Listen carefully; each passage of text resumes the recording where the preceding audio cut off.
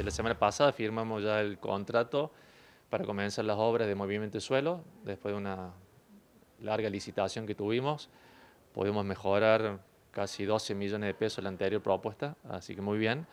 Y ya comienzan las obras. A partir de ahí, luego el movimiento de suelo, viene todo lo que es estructura y todo el año en construcción de esta nueva terminal, que tiene 19 dársenas, que tiene 10 boleterías, dos locales para encomiendas importantes, dos locales institucionales para que la municipalidad pueda brindar servicios, em, bueno, un bar y, dos locales comerciales.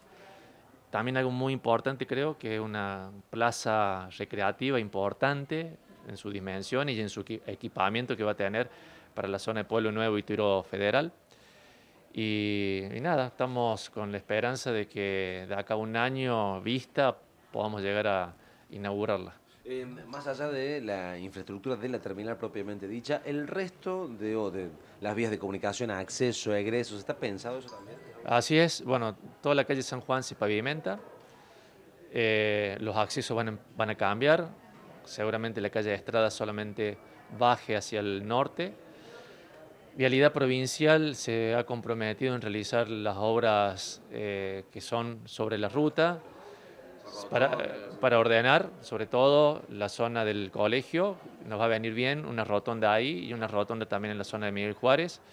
La semana que viene ya tenemos las conversaciones con los ingenieros de vialidad. Venimos ya hace un año y medio trabajando, pero bueno, ya con el responsable que va a tomar la decisión de cómo intervenir esa zona. ¿La obra puntualmente va a estar a cargo del municipio o también de una empresa que se va a encargar de construir?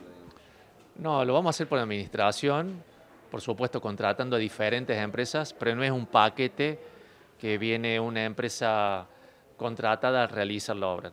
Eh, de esa manera mejoramos muchísimo los costos y poder ver cada uno de los ítems eh, para poder mejorar, mejorar el precio sobre todo.